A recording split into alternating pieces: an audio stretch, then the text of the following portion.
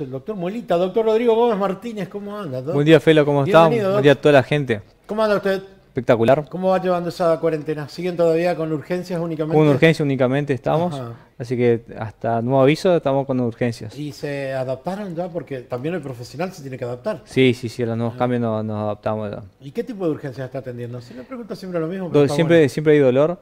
Eh, hay pacientes que eh, por un momento también eh, tenía que hacer un tratamiento antes de la pandemia. formó caries, llegó hasta el, hasta el corazón del diente, que es la pulpa, generalmente ya viene con dolor. ahora con el frío la sensibilidad también, que no deja dormir, que no puede tomar agua natural. Hay muchísimas de esos tipos de, generalmente el dolor, una muela de juicio que está impactando. Eh, generalmente esos son los casos que más se ven. Bien. Recuérdeme cómo es el protocolo para pedir un turno. El protocolo es llamar por teléfono. De ahí eh, nosotros tenemos que preguntarle cómo está, el, si no tiene fiebre, si no estuvo los últimos 14 días con una gripe. Eh, si tuvo algún tipo de vínculo con alguna persona que, fue al exterior, todo ese tipo de, y muchas más, varias preguntas las hacemos telefónicamente.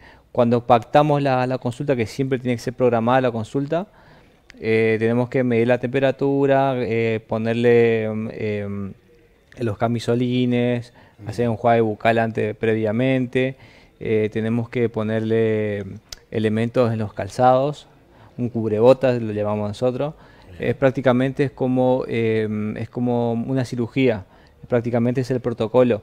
Eh, una cirugía tenemos que equiparle al paciente eh, con, todos los, con todas las indumentarias eh, que son quirúrgicas. Bueno, prácticamente lo hacemos de esa manera.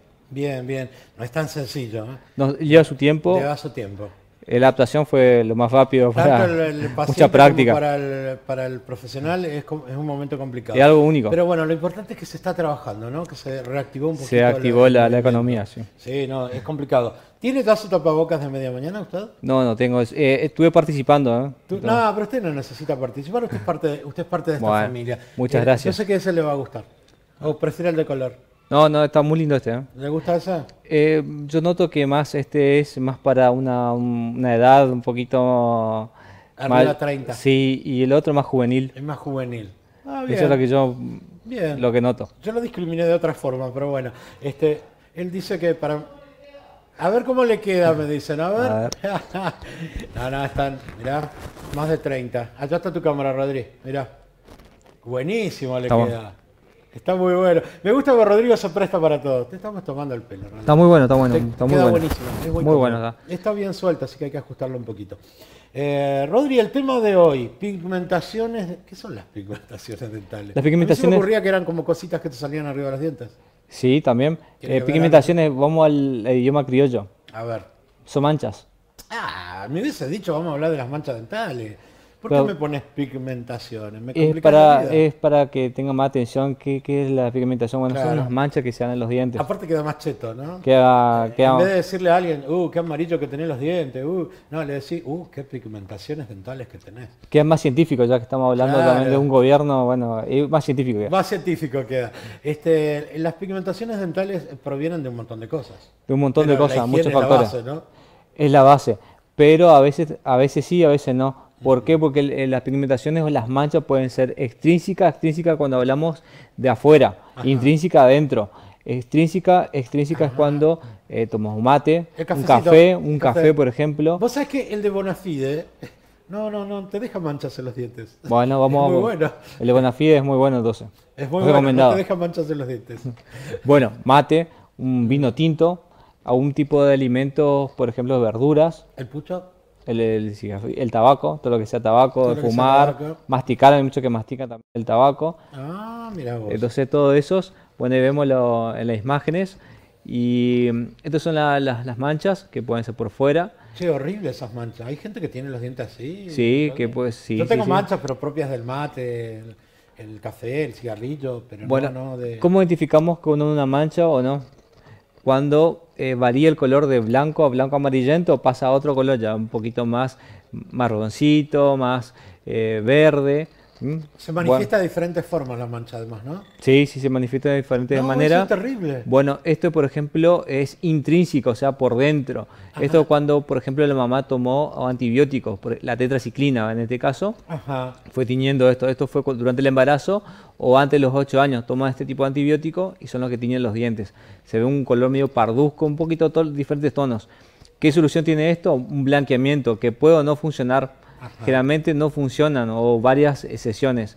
Esto, por ejemplo, lleva otros tipos de manchas, que también, unas de las manchas también pueden ser caries, en este caso no lo es, eh, pero puede ser, también encontramos esto generalmente eh, así como este estilo son los fumadores. Se encuentran en los eh, incisivos inferiores y en las molares, la parte interna siempre. ¿Diferencia entre mancha y sarro que le decimos normalmente? Bueno, eh, las manchas generalmente se dan en todos los dientes y la placa o el sarro se encuentra por en el cuello y los dientes, en cerca de la encía, en contacto con la encía. Bueno, y vimos otro tipo de, de tono más amarillento que también puede ser por la edad eh, también tiene mucho que ver eso. Eh, te iba a preguntar, bueno, pero después vamos a hablar del envejecimiento de los dientes. Sí, sí, también eh, hay un, generalmente varía por los, por el, obviamente por el al masticar los dientes, el uso. viste que cuando ves un muerto de mucho tiempo, yo nunca lo vi, ¿no? Pero viste que cuando te lo muestran tiene dientes. Tiene dientes, bueno, eso también se da otra cosa. ¿Por qué se da el color? Porque no tiene una, nutrición. Entonces ah, cuando no se, no, cuando. Uy, eso es terrible, pero eso ya es caries. Eh, no, no, no, esto no es caries, esto, es, esto es ya la amalgama. El, va tiñendo, o sea, nosotros llamamos eh, tatuajes, que eh, de acuerdo a la composición del, del, de la amalgama va pasando por los túbulos y va quedando ese color. Esto es una, enfermedad ya sistémica, que también se da en este tipo de coloración. También las bacterias cuando consumís, también algunas bacterias también son las que forman las, las, las coloraciones de los dientes. Eh, bueno, acá un poquito de todo.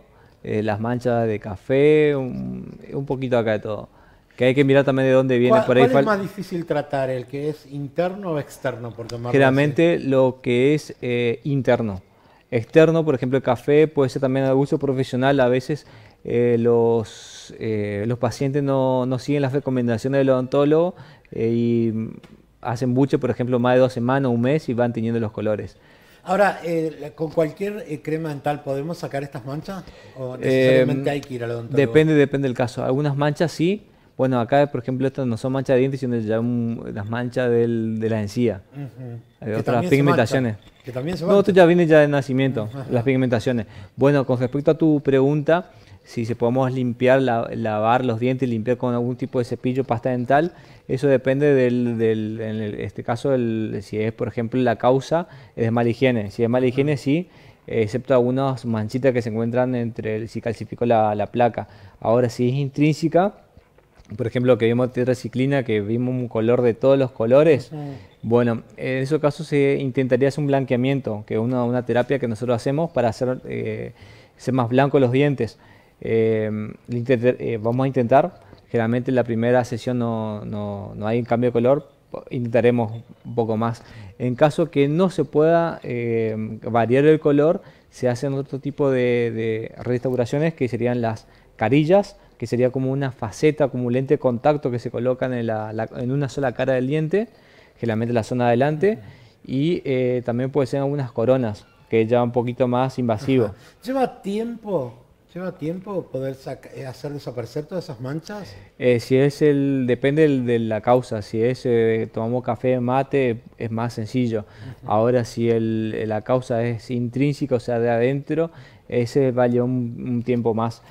¿Qué pasa si nos dejamos estar? Tenemos las manchas, no le damos artículos, pasa mucho tiempo y ¿Puede traer algún problema, alguna consecuencia? Bueno, las manchas intrínsecas ya están ya están ahí, no, no van a... Siempre tenemos que eh, cuidar lo que es el, cepillado de diente. Por ejemplo, uno de las, una de los problemas internos es, eh, por ejemplo, una falta de desarrollo de la una estructura del, esmalte o de la dentina que la estructura más adentro. Eh, bueno, estas estructuras se encuentran más debilitadas, entonces es, necesario tener un cuidado mayor que un diente que está bien formado. siempre tenemos que tener en cuenta que las manchas no sean de, una mala higiene, que ahí ya la consecuencia es la caries. Por eso tenés manchas y lo importante es ir al odontólogo. ¿eh? Y el odontólogo. Y él te va a decir eh, si podés solucionarlo rápidamente o si lleva un tratamiento más, más extenso. Rodrigo, los remedios, yo le digo remedio, las fórmulas caseras como el bicarbonato de sodio. Sí. ¿Sirve, no sirve? ¿Te daña más? ¿Te quita el esmalte? Porque hay mucho mito con eh, respecto Funciona eso, o sea, te hace más blanco, eso es cierto, eso es la verdad.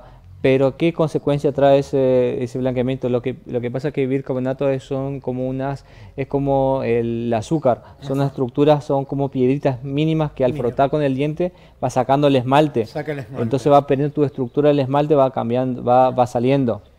Por eso que después de este tipo de tratamiento, hay muchos que hacen con limón, que también la acidez que tiene lo hace más blanco, pero te hace más, muchísimo más sensible que tomar el agua natural y, te duele todo. Exacto, no hay nada más efectivo que ir al odontólogo, no queda otra.